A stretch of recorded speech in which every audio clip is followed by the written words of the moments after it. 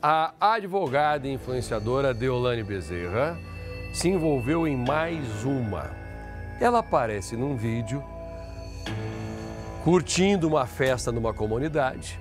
E o que chama a atenção é que nestas cenas a Deolane aparece usando o cordão de ouro do chefe do tráfico. É um cordão muito parecido, quer ver? Ó? Esse é o chefe do tráfico, bandido, cara perigoso, já mandou matar muita gente, um cara que tem grana às custas da saúde pública dos outros, à custa de muita lágrima de mãe, de muita vida que se perde. Esse cordão que foi comprado com esse dinheiro dessas vidas que se perderam, que aparece no pescoço da advogada influenciadora. E aí? É o mesmo cordão? Muita gente diz que sim, até porque ela estava na festa. Isso vai ser investigado. Que crime é esse, Jorge? Por favor. Tem algum tipo de crime aí que pode ser observado? Olha, Passaia, talvez o de apologia é, a ato criminoso é uma tipificação do Código Penal, mas precisa ser muito bem interpretado para ver se isso dá, dá certo. Vamos ver então, põe no ar. Baile funk na Vila do João, organizado pelo tráfico de drogas, varou a madrugada da quarta-feira. Milhares de moradores e convidados curtiram a festa. Mas uma pessoa chamou a atenção da opinião pública. A advogada e influenciadora digital Deolane Bezerra, que postou vídeos na própria rede social divulgando o evento. O problema é que Deolane estava usando o cordão de ouro do chefe do tráfico de drogas da comunidade, Tiago da Silva Fole, mais conhecido no mundo do crime como TH. Durante o evento, Deolane deu uma entrevista para um comediante na comunidade falando sobre o baile funk. Ela passou boa parte da madrugada com o cordão no pescoço. Olha esse look, tá estrondoso. Dá uma voltinha pra gente. Olha só. As imagens que a advogada e influenciadora digital publicou nas redes sociais foram obtidas pela Delegacia de Repressão a Entorpecentes, que tem um inquérito aberto sobre a quadrilha que controla o tráfico de drogas na comunidade.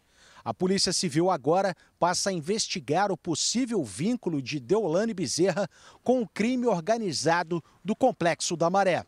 Algumas horas após o baile funk, Deolane postou um vídeo em uma rede social tentando explicar a foto e o vídeo usando o cordão do chefe do tráfico de drogas do Complexo da Maré. Aproveitando aqui que a minha grande Gil não ganhou e eu tô revoltada, deixa eu esclarecer do meu assunto.